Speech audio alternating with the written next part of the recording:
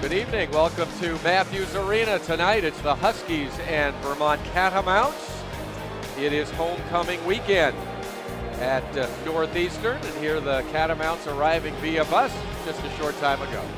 Imagine if the MBTA could take a customer service cue from that, Rob. Imagine getting off the bus for work and having the bus driver shake your hand. That's a good idea.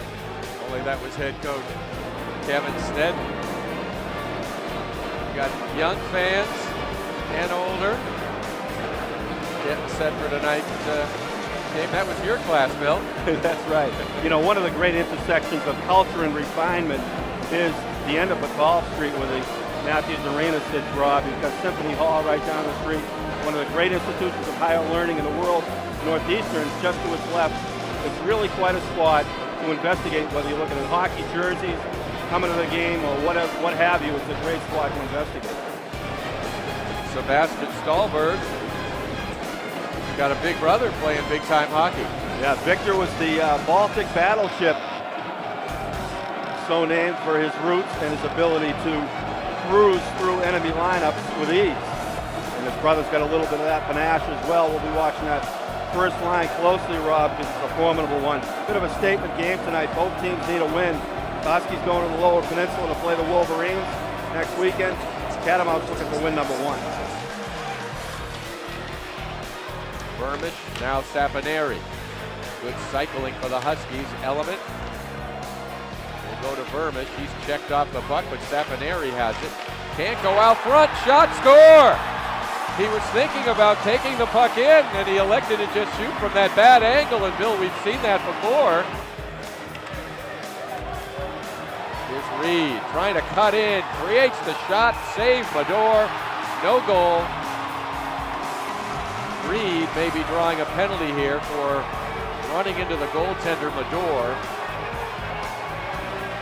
Yeah, after a nice power move to the net around Bruneau, went on the forehand, but boy, that stick was up too high for the officials' liking, and as you called it, Rob, he's going to go off for running the duffel bag. Bill, I wonder uh, on the AT&T replay if it didn't show that uh, Reed tripped over the outstretched right leg and pad of Madore. Yeah, I think that was just a case of it being too obvious with the stick up high anytime they want to keep that goaltender protected. Here's a, might be another look. Madore's going to be backing into that crease, and here's Reed with the, the Emmitt Smith. Pass went behind Luukko, and now he'll control at the point. Two men in front of the net. Tip score. That's hard to do. But Vermont got the goal that ties the game with 17 seconds left on that power play. Here's the AT&T replay, and it's all because of Luukko's shot. And a terrific tip by Matt White, Bill. Yeah, that is really neat stick work by White as he just turned that nozzle on the on the lumber just a, a.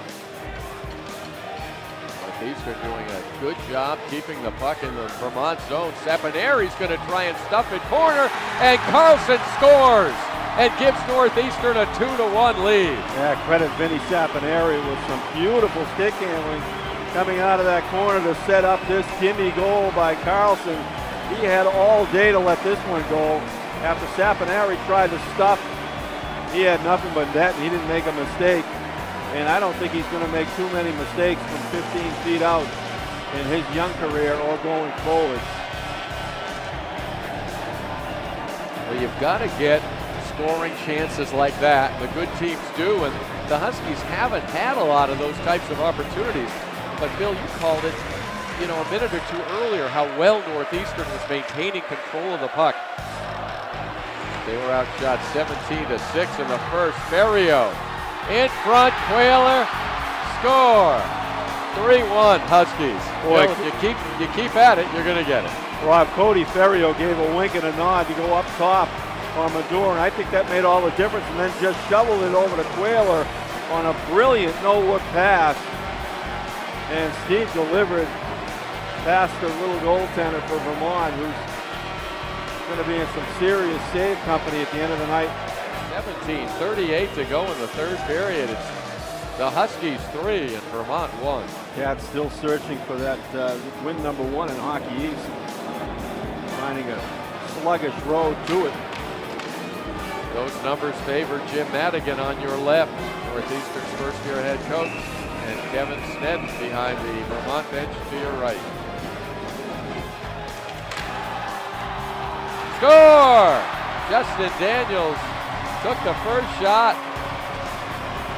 The rebound goes in, Yeah, and it's four to one. Medora with an absolute felonious save on the first shot, point blank by Daniels. Watch this save by Medora. And I just think you get a slight piece of it. And then the rebound. Looked like Tuckerman on the rebound.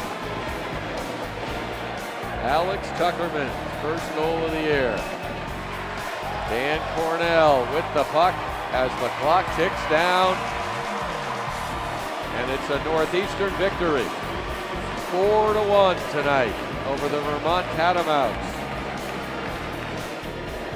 So that's things, the, the order seems to come back a little bit now. I think the Huskies have found a game. They're going to miss Mike McLaughlin for a little bit, no doubt about that. They're pretty healthy otherwise, and off to Michigan now. They kept their composure, Rob, in a five-minute man-down situation. I think everybody thought that Mano's hit was uh, a little bit less than a five-minute call. They held their composure and came right back, and that's a big moment in the early season for Northeastern coach Jim Madigan.